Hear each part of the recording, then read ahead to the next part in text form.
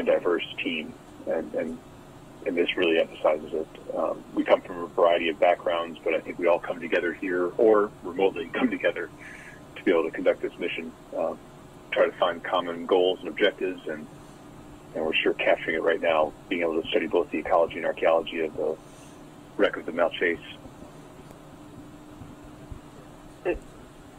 Chris, did you see that um, possible soapfish? It didn't look quite like